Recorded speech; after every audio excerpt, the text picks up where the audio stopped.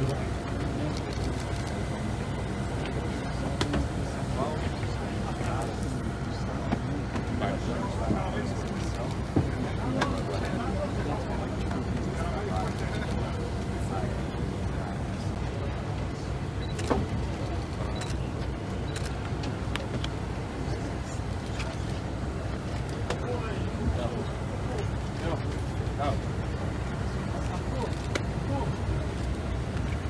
alcançar esse aqui.